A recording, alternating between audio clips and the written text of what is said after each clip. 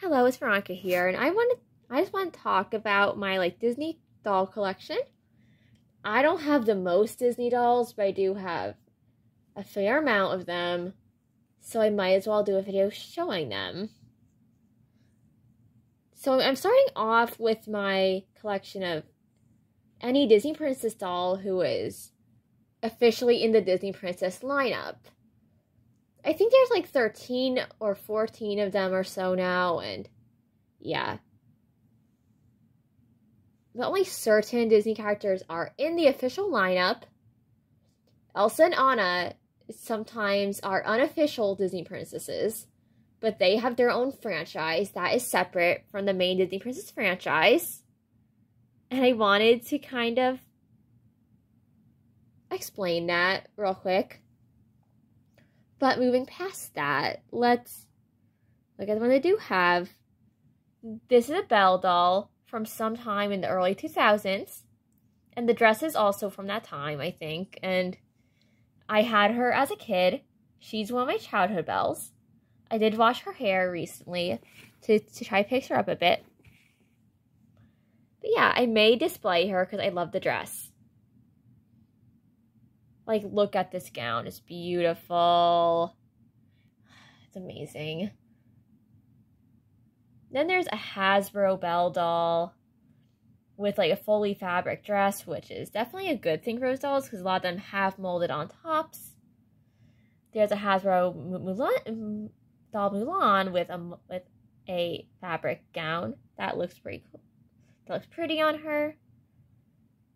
And also, what I've learned from my like Frozen Hasbro dolls is that these dresses fit Rainbow High dolls, so they're great for restyles. If you have any of these dolls laying around that have, that have no idea what to do with their dresses.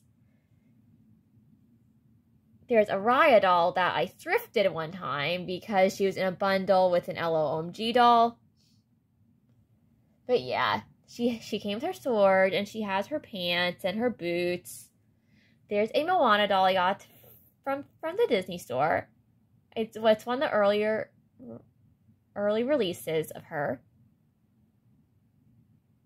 But yeah, I got her around the time the movie came out, so like, there's Moana. But I guess let's just move on to the to my little other section that isn't my Frozen dolls because that one's going to be long. And now we're moving on to the part, the other part of my Disney doll collection that isn't official Disney Princess dolls and isn't Frozen dolls. I will get to Frozen later because Frozen is a huge special interest of mine. But this is. I kind of consider these ones a bit, a bit more miscellaneous because they're in in the doll lines. I don't collect the most of, but I do have a couple, I guess. So this is my Descendants collection. I know it's not very big. Yeah, I know there's a huge de- descendants trend going on right now. And this video really does not have anything to do with that. I just wanted to show my descendants dolls I have. So this is Evie in her cotillion gown from Descendants 2. I adore this doll. I adore her gown she's one that I actually keep around sometimes because I, I like holding her. I love how her hair just stays in place and intact because it's all done up. She's just really, really beautiful and I've just always liked her. And this gown is it, it's a top restyle piece for me. Like I love this gown. It looks fantastic on Rainbow High and Shadow High dolls and it's going to look fantastic on any doll you put this gown on. So if a doll can fit into this gown, it's going to look phenomenal on them. So yeah. And she also has painted on, on gloves, which makes sense for her look. She has a little apple purse. She has a little ring with a crown and a heart on it, which is like the symbol for her fashion brand in the Descendants universe. But yeah, this will like probably always be my my favorite Descendants doll release, and this is my favorite Evie release. And she she's probably one of my top favorite Disney dolls ever too. So, yeah.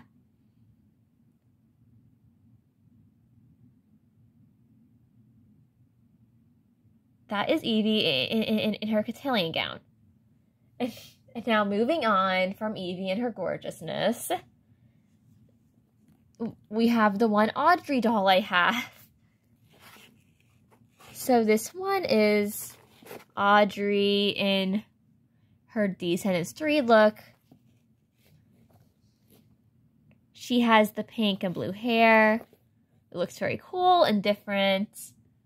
Her tiara is still pinned to her head. Her outfit isn't the best material, but it's not the worst.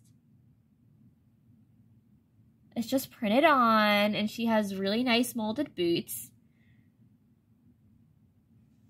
And yeah, this doll is really cool. And and the descendant dolls also have very similar proportions to the Hasbro Disney Princess dolls. At least the Hasbro ones do.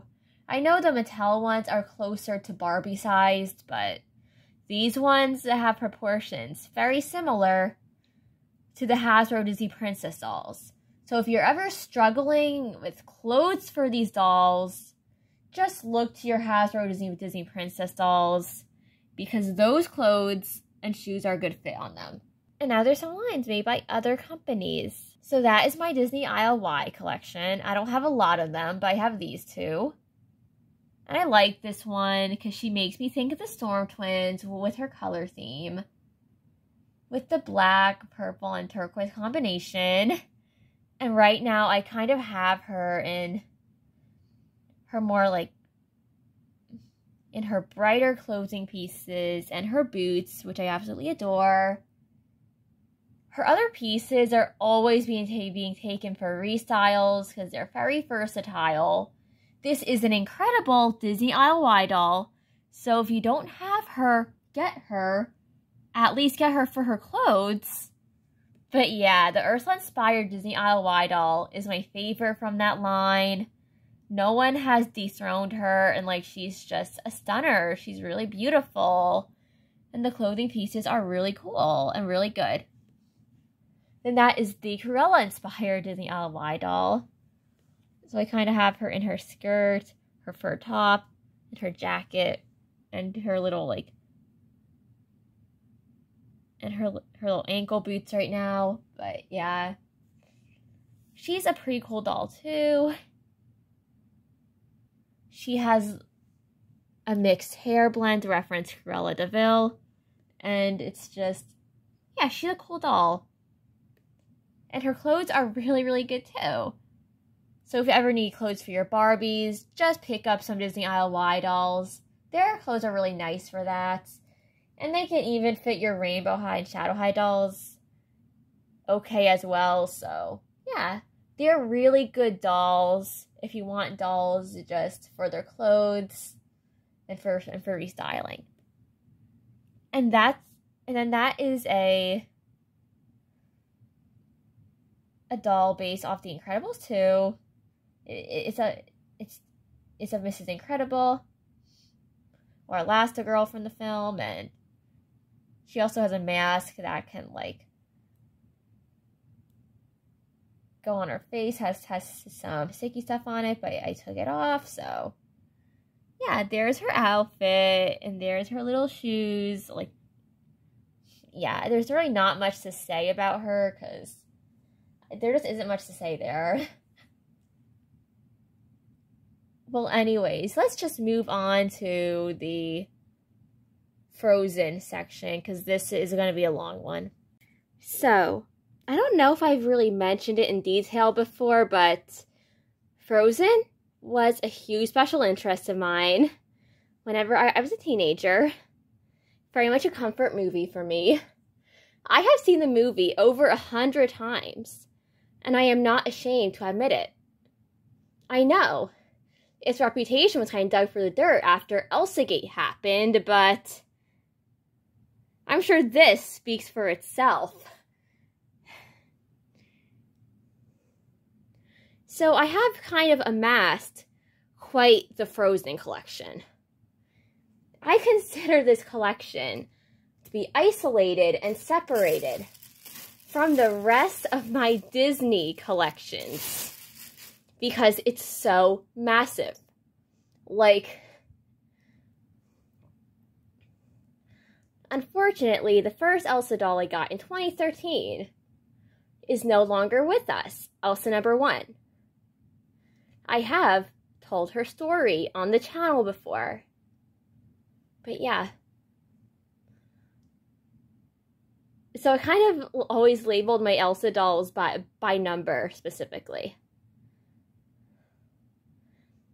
And I kind of have them like organized by character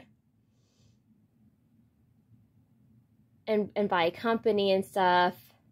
So this is a JC Penney Elsa from like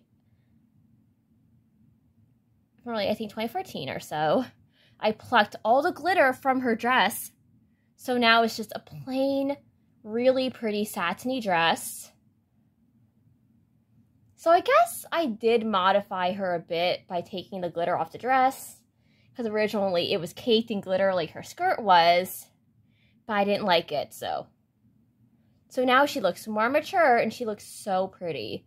Like, the bun is adorable the face mold, that is the original, like, Disney Store face mold for Elsa.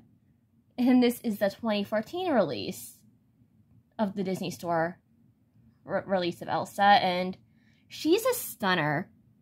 Like, I love this doll. She's so beautiful. Her hair is so long.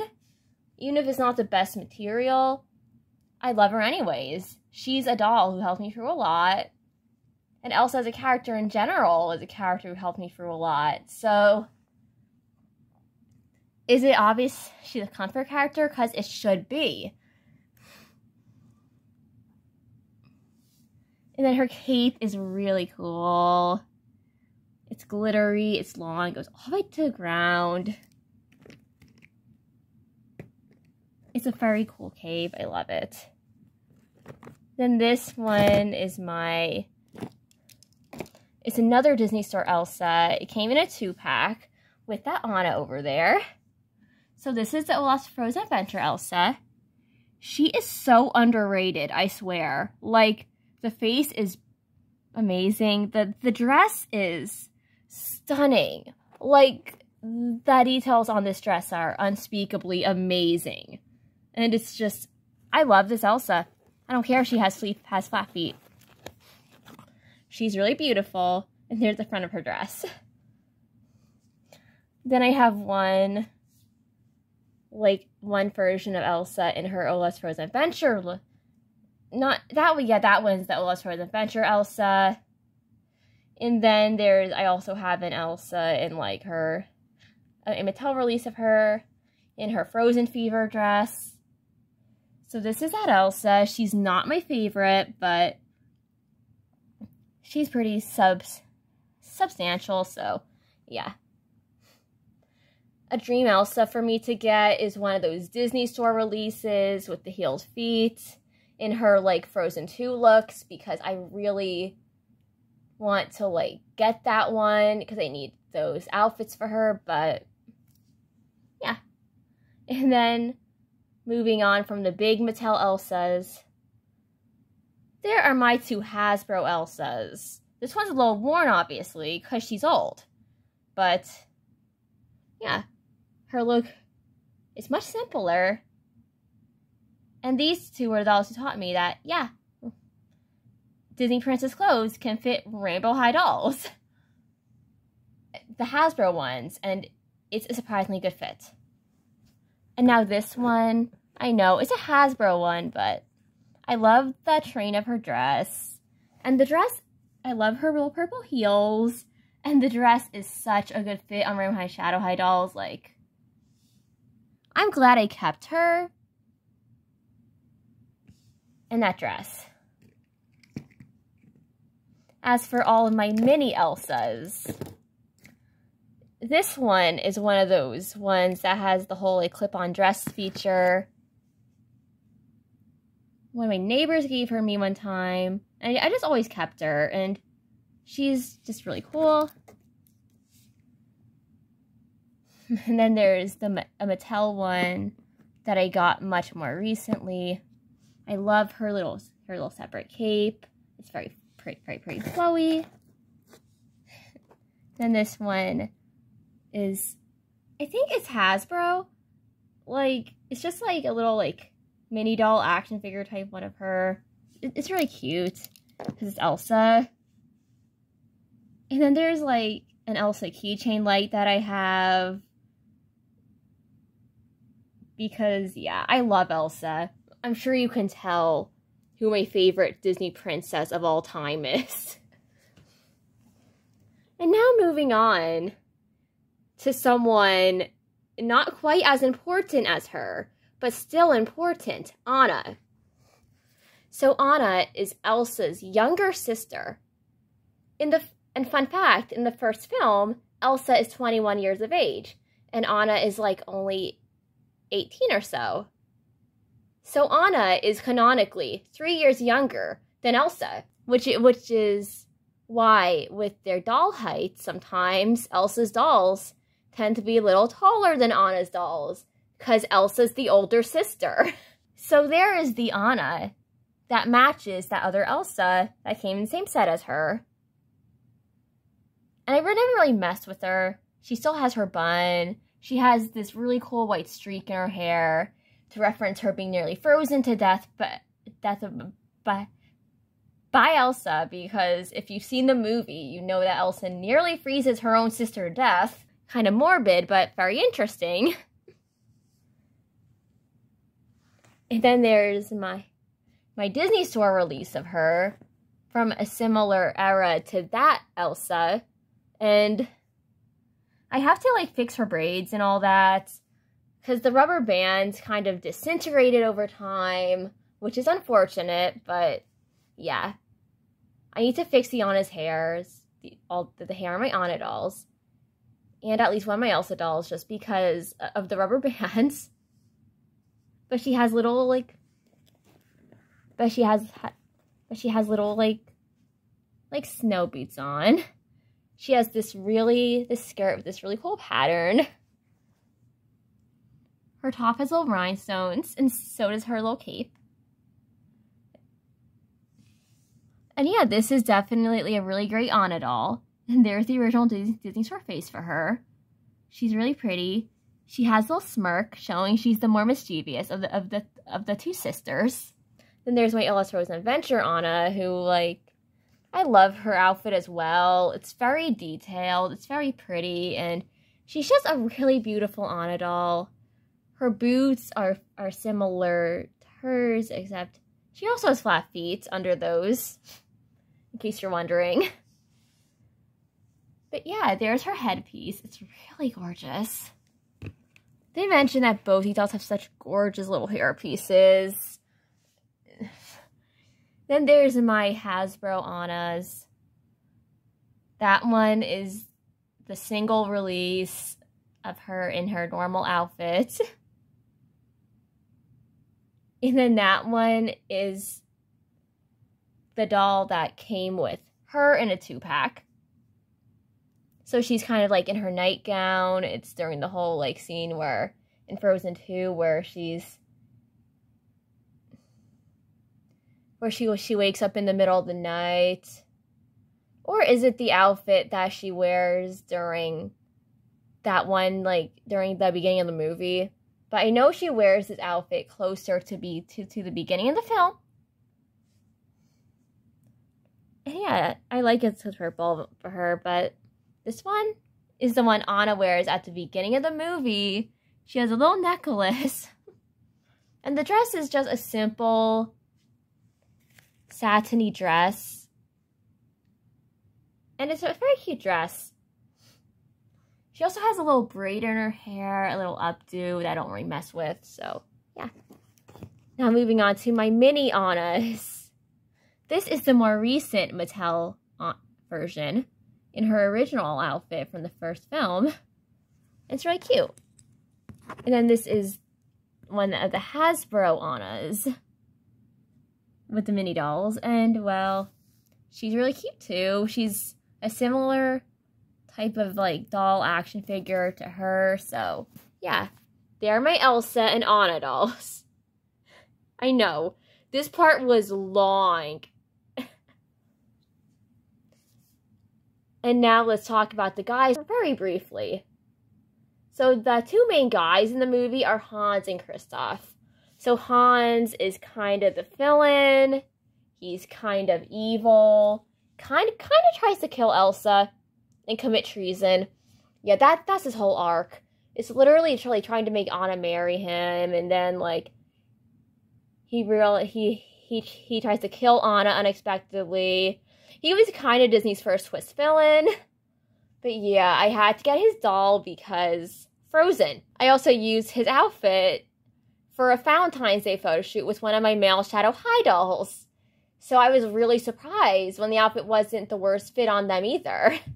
Because I, uh, I don't have a lot of formal wear or guy dolls for them, obviously. obviously. So, yeah. Now he has a decently detailed jacket. It's very formal, old fashioned. Has a little ribbon on that shoulder. That's all sewn together, like the top and the pants. Has tall, tall black boots. And then there's Kristoff. Anna's the guy Anna is like engaged to. In the in the second film, they finally Anna finally accepted his marriage proposal. So if anything, I hope Frozen Frozen 3 covers that and their marriage and maybe them having kids or something. I don't know. That'd be cool. But yeah, there's Kristoff in his look from the first film. Came out at a similar time to that Anna. I actually got those at the same Disney store together, so so that's romantic. But he has a little hat. It's like felt. He has blonde molded hair. His face is very detailed, as is Hans's face, who looks who looks like he's up to no good. And then his outfit, it's like it's more that nice that like kind of like felt velvety material. It's very warm and it's like yeah, and, and he, he he has has little has has little mittens has pants in a similar material to his undershirt, and then it's just that he he has these these boots that are like snow boots, and just really. And I do not have a, a lot of Olaf stuff because I do not like Olaf. I'm serious. I find Olaf annoying. He is obnoxious, and I hate it every time he he he he he, he is on the screen. Like I love any I like every character in this movie except for Olaf, but there's a, a, a Sven plush I've had for a long time. It's one of those TY plushes. There's this little tag. It's, it's from the Beanie Babies collection.